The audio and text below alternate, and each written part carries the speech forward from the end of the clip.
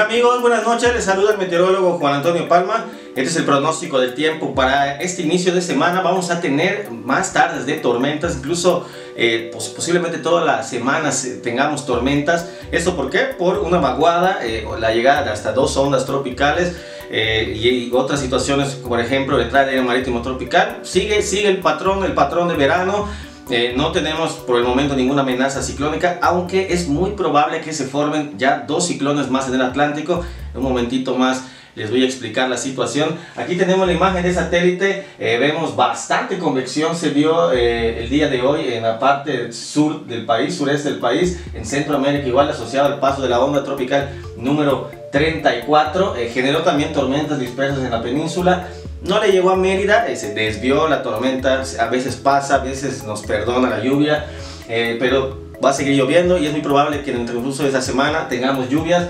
Vemos igual inestabilidad en el Caribe Central, eh, es asociada a una onda tropical que también estaba en vigilancia, pero las condiciones no eran favorables para que se desarrolle el ciclón tropical. Sin embargo, el sistema va a estar llegando a nuestra zona probablemente entre lunes y martes. Esta es nuestra simulación de radar hecha por satélite, exclusiva de Meteorología de Yucatán. Podemos ver cómo se formaron varias, varias zonas de precipitación, algunas puntualmente eh, extremas, lluvia intensa en los puntitos que ustedes ven rojos, eh, significa que es que es lluvia extrema, en amarillo y naranja es lluvia fuerte. Vemos que Campeche tuvo algunas zonas con lluvia extrema, igual en algunas partes de, de lo que es el estado de Yucatán en Quintana Roo y pues la zona de Mérida pues desafortunadamente para los que quisieron que lloviera hoy pues no, no llovió y dejó realmente mucho más bochorno esta es la carta de pronóstico para este lunes. Vemos que vamos a tener a la, nueva onda tropical número 35 frente a las costas de Quintana Roo, eh, ya sobre Centroamérica.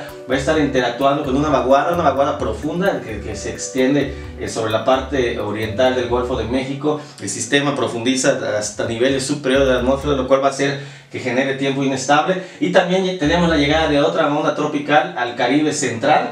Esta podríamos estarla teniendo más o menos para el fin de semana. Eso va a ser para el día martes, el pronóstico para el día martes. Vemos que la onda tropical 35 se va a ubicar sobre la parte sureste del país, generando tormentas eléctricas en la península de Yucatán.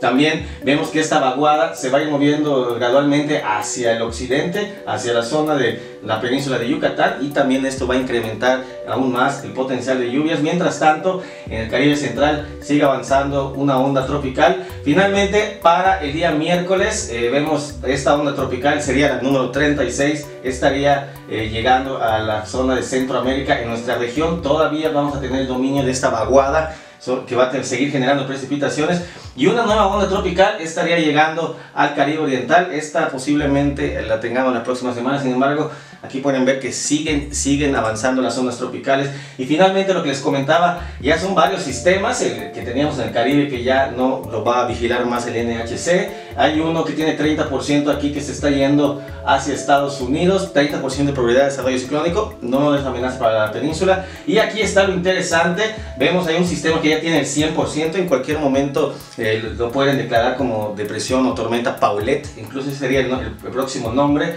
Hay otro que tiene 90%, son dos ondas tropicales y es posible que en los próximos días 20% de probabilidad de desarrollo ciclónico en la zona de igual del, Atlántico por una nueva onda tropical. Así que aquí está el detalle con los sistemas que se van a formar, pero afortunadamente todo parece indicar que no va a llegar ninguno al Caribe ni a nuestra zona, así que solamente vamos a tener lluvias asociadas con ondas tropicales y una vaguada. Ese es mi reporte, les deseo una excelente noche. Gracias a nuestros patrocinadores 24 grados, aires acondicionados, construir comienza en Construpack, dinero inmediato, tu aliado efectivo, empieza a vivir con Homeser.